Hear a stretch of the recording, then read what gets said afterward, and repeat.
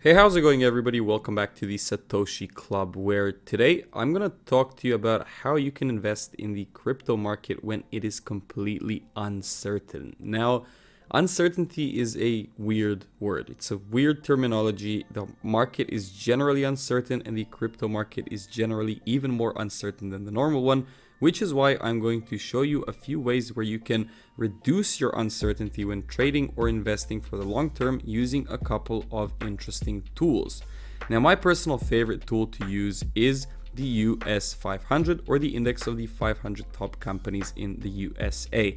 Now, before I go on with the rest of the video, if you do enjoy it, guys, make sure to leave a like, subscribe to the channel, Comment down below with your favorite thoughts, but most importantly, hit the subscribe button so you don't miss out on any of this news in the future.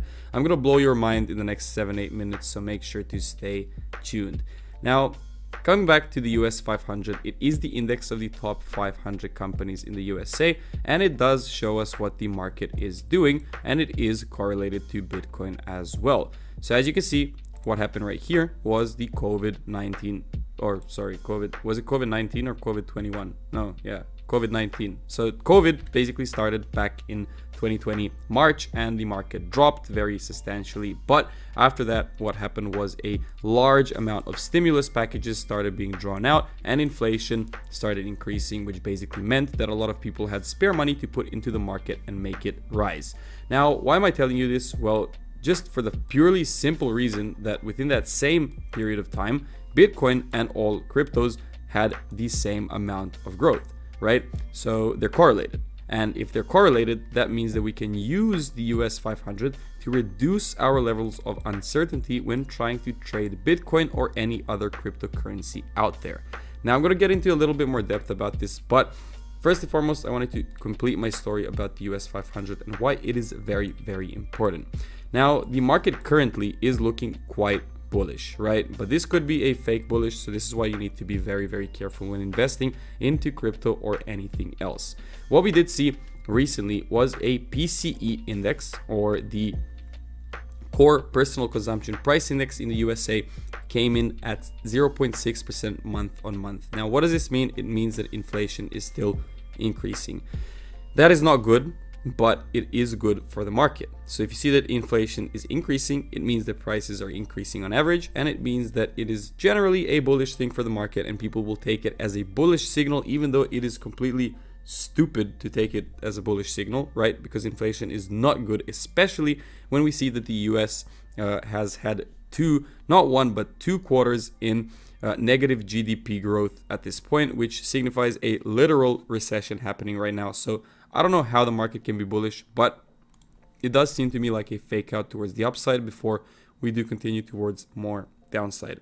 Now, what's going to happen with the crypto market as well? If we look at Bitcoin, now I'm only going to talk about Bitcoin, Ethereum, the US 500, and US oil uh, for today's video because I use these two to help me, uh, you know, trade these two up on top.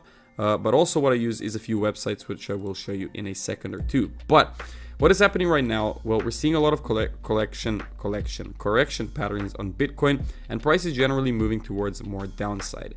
Now you could say that we did form a bottom around the 18k level, but I beg to differ because we're still experiencing rate hikes from pretty much every central bank in the world, starting with the Fed. The moment that I believe that you should start dollar cost averaging, which is the ultimate strategy when it comes to investing into the crypto market, so DCA, uh, but uh, you know, DCAing right here is quite useless if rate hikes are still undergoing, right? What we should wait for is, you know, price to rebound, potentially come back from the 30K level and continue moving down as a result of more and more rate hikes coming in. There is no reason for the market to continue moving up as the rate hikes are coming in because it simply means that people will start to tend to save more money and invest less of their money and also a lot of these other economic uh, reasons that I won't get into too much detail right now for this video, but I might talk about in the future. Well, I will for sure. Um, if there's anything that interests you specifically, such as how consumption and saving impact the economy, such as, for example, how I know that the next bull run will come for sure, is okay, I have to give you a little sneak peek. Now, the next bull run, what's going to happen is people are going to be overly scared of, you know, a new war coming out new recession coming out, new COVID coming out, everybody's going to start saving money on a massive scale. When you have saving that is larger than consumption in an economy, it is bad and it triggers a recession. So negative GDP growth because too much money is sitting around doing nothing. What's going to happen right then? Stimulus checks will come back printing of money will come back and once all that starts inflation starts coming back once again. And the market starts from moving down it continues moving back up and that's what causes the next bull run. Now the only question is when that is going to happen which is why my firm advice now by the way i'm not a financial advisor and you should do your own due diligence before investing into anything in the crypto world but my you know so to speak advice for you is to wait until the fed says that they're going to stop hiking rates and from that moment onwards, start dollar cost averaging. Because they're going to say let's say two months from now they say okay we're going to increase interest rates uh, we're going to stop increasing interest rates in uh, march of 2023 right? And even though that is only it's like a year from now right? It's eight months from now well it doesn't matter. Because the market as soon as they hear the news is going to start pricing it in. So that's the moment that the market is going to take a little dip and then start moving in another bull run. Now, that's kind of my prediction when it comes to Bitcoin itself and uncertainty in the market. What you can do to make it easier for yourself is keep in touch with news events, keep in touch with the US 500, keep in touch with oil prices and inflation. Those are the four macroeconomic indicators that you need to take into consideration.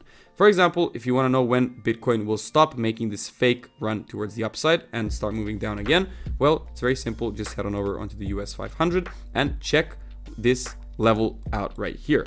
Now, currently we're hitting the 50 period moving average. It's a level of previous support. It is a level of resistance right now, and I do expect the price to start rebounding at some point right here, since it is a significant level of resistance. If you want to know where the potential bottom is, well, my personal prediction, well, it's not a personal prediction, it's something very logical and using a tool that has been around for quite some time, which is the Fibonacci tool.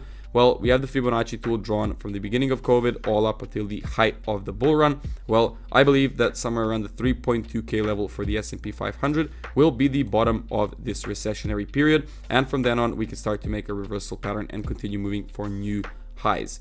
Bitcoin will coincide with that same information, somewhere around the 10k mark, maybe even a little bit lower. So brace yourself and be happy that it is coming back to a lower price once again so that you are able to take advantage of dollar cost averaging and investing into a portfolio of your dream while prices are at a discount. It's very important and you know for Ethereum, when it comes to Ethereum, you should uh, probably just wait for the same uh, thing that I just said when it comes to Bitcoin and all of these other cryptos. Just dollar cost average once you hear that the Fed will stop hiking rates. That's very important. Now, one more thing that I want to mention before the end of the video is first of all, Coindesk is pretty cool. And second of all, if you want to know more about news and all of these rate hikes and all of this stuff going on, I highly recommend heading on over to forexfactory.com, pressing the filter button, pressing the green or not not green sorry red and orange news because they are more more of high impact news and basically just paying attention to everything going on. So if you paid attention today, you would see that the core PC price index was in the green, so it was larger than expected, which means that inflation was larger than expected, which means that it will have a fake bullish effect on the market, which means that as you can see, the market is moving bullish when it comes to Ethereum, Bitcoin, US 500, everything, because it's all correlated. Now that's it for today's video. Uncertainty is a very, very difficult thing in the market. And the best thing that you can do is try to reduce your risk when trading. So what you can do is pay attention to news, pay attention to correlated indexes, and most importantly, just be careful and be patient. So that's it for today's video. Make sure to subscribe if you did enjoy it. Leave a like, comment down below with your favorite thoughts, or if you want to see something special in the future, and I will see you all in the next one.